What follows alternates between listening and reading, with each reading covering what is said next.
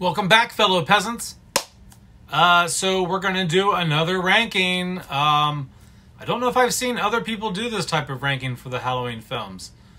Uh, so I just did a video where I ranked all the Halloween films in order as I like them. So go ahead and check that out uh, later if you haven't already seen it. Uh, right now, we're going to rank the Halloween films based on Halloween atmosphere. So here's the here's kind of the criteria that I'm ranking these.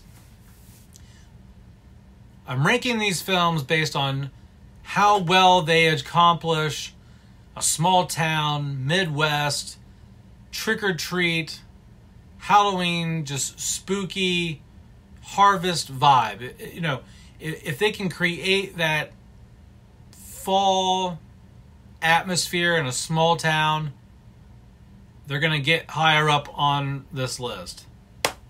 All right, so let's get into it. Number 13 is Halloween H2O. Halloween H2O is at the bottom of the list because it's set in California, shot in California, not done as well as 78, which at least went to Pasadena in an area that looked like the Midwest. So that's why it's at the bottom. It's just too California for me. Not really any Halloween atmosphere. Number 12 is Halloween Ends. Halloween Ends, even though I li- I did like the film, once again, like I told you before, not a great Halloween movie. Good movie. Not a great Halloween movie. Not a whole lot of trick or treating. I mean, there's there's a few shots of some trick or treaters. There's a few. There's a Halloween party that Allyson and Corey go to. Uh, but other than that, and maybe some pumpkins Laurie lights on her fireplace mantle towards the end. Not a whole lot of Halloween atmosphere. Not a whole lot of small town Midwest harvest time, leaves blowing. Um, I just I, I I I just didn't feel it. So that's that. Number 11, Halloween Resurrection. Yes, Resurrection is still at the bottom of a list. Not the bottom, but it's it's damn near towards the back. Uh, other than the the only reason this movie's not at the very bottom is because the Myers house. you know what I mean? Like there's a lot, you know, the Myers house pretty much saved this saves this movie from being at the ass end of this list. Um, anytime the Myers house is in it, anytime you get a fair enough fair amount of Michael, uh, it's gonna get bumped up because to me, Michael, Michael's house, Haddonfield, fall like things, you know, that's Halloweeny. All right, so number 10, 1978. Yes, number 10 is 1978. It is far down on my list for Halloween atmosphere. Yes, they did shoot it in Pasadena, where it looks like the Midwest. But not enough. It's still very sunny, it's still very green. Yes, they painted the leaves brown and blew them across the street and picked them up and took them to the next scene. They tried the best they could. It just doesn't feel a whole lot like Halloween. You don't see a lot of uh, leaves falling, leaves just cluttered laying around. You don't see a lot of trick or treaters. You don't see a lot of farm looking atmosphere, ambience. Um, it just look, doesn't look uh, that great to me. I don't really feel that it's fall when I watch it. And uh, is what I, I remember the first time I watched the film. I remember I remember thinking, this doesn't make me feel like Halloween. so, all right. So, up next is number nine, Halloween Two, two thousand nine. Uh, the reason that this movie gets the number nine ranking is because uh, it does have that small town feel. There's cornfields. It just has more of a rural aesthetic to it than uh, 1978 does, or anything further down on this list.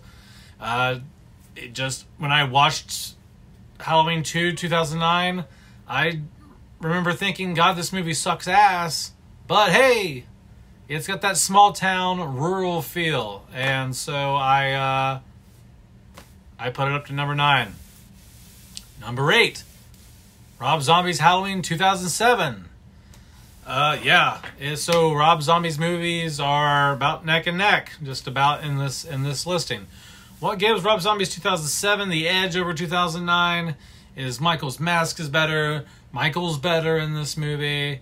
Uh, the fall aesthetic is a lot better. There's more leaves. The the the color of the uh, the trees is, uh, have changed. Uh, there's trick or treating. Um, there's better Halloween decor in the neighborhoods. Uh, yeah, it's just better. Number seven, Halloween 2, 1981. Uh, I chose this uh, to be number seven because it's still the same night as 78. You get a little more trick or treating. That's how Ben Tramer dies because this dumbass was walking around in a Myers mask and accidentally got killed. Uh, there's, just a creepy, chill, cold feeling to the film. Uh, the small town hospital vibe, to me, that feels um, very small town, claustrophobic.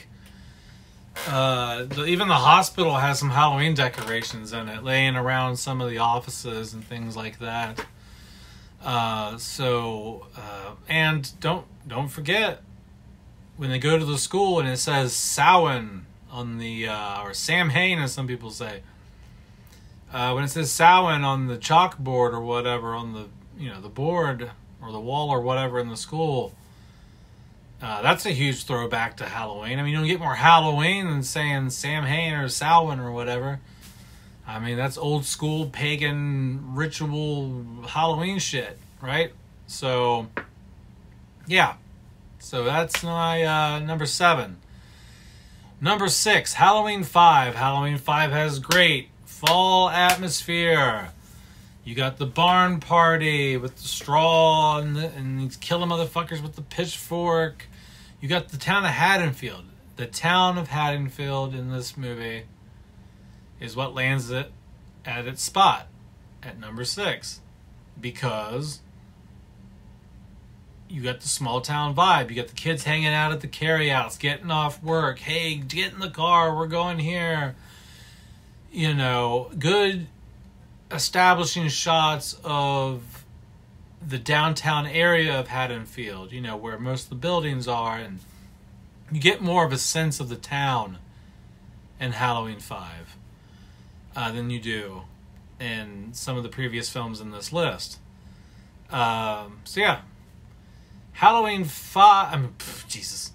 Number 5 on my list for the best Halloween atmosphere is Halloween 2018.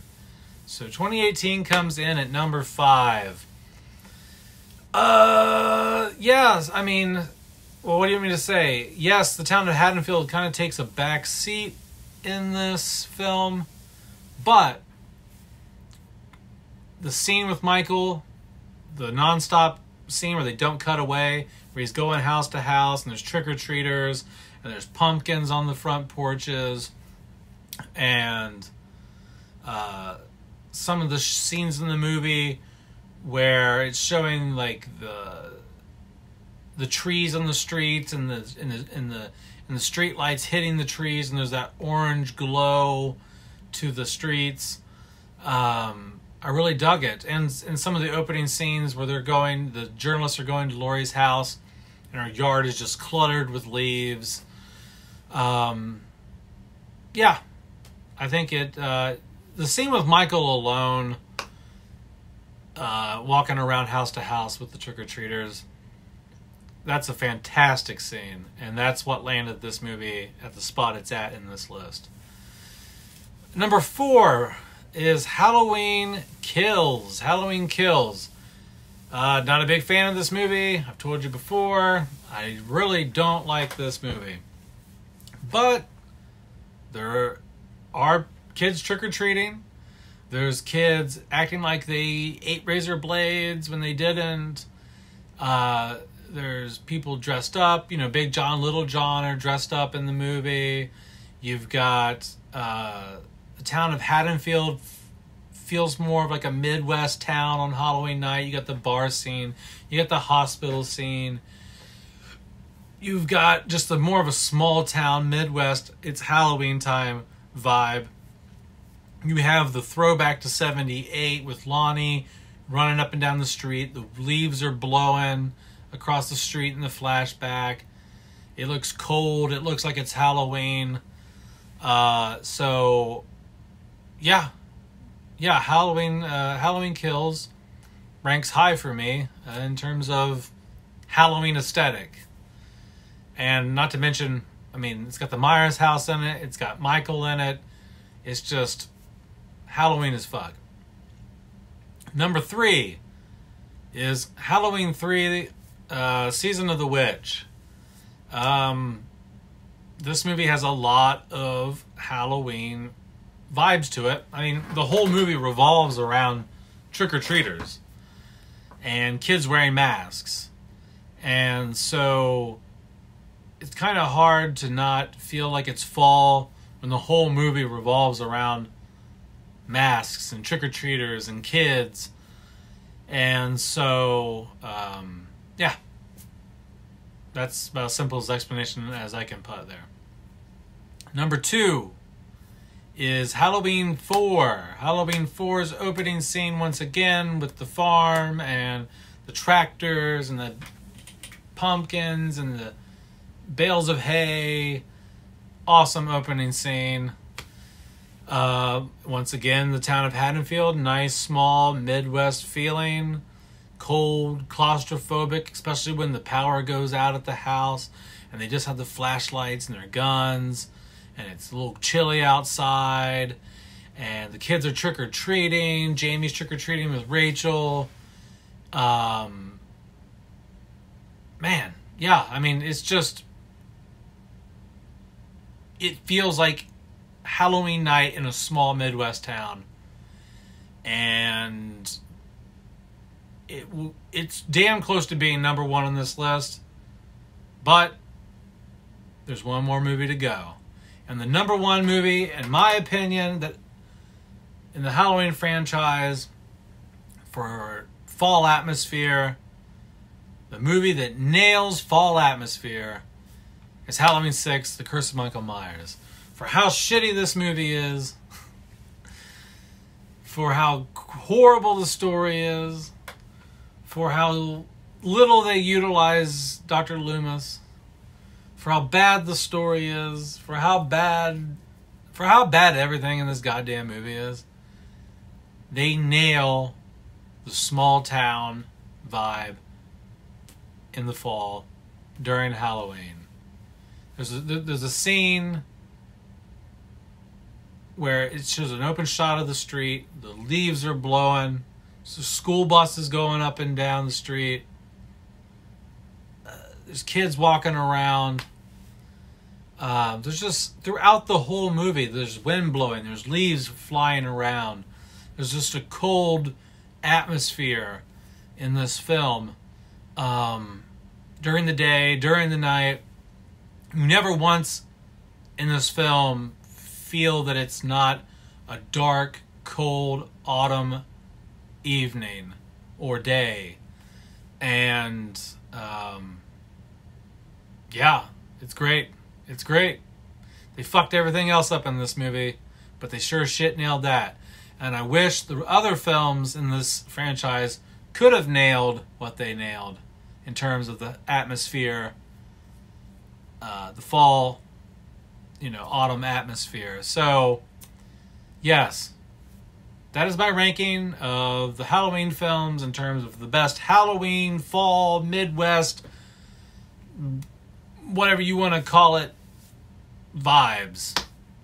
So anyway, guys, let me know your ranking down below. If you, I don't know if you've ever ever even thought about the films in this way, but go down in the comments below and tell me your ranking for what you think, what movies you think have the best Halloween slash Midwest slash autumn, harvest, fall, trick or treat atmosphere. And uh, yeah, that's about it. Peace out, guys. Later.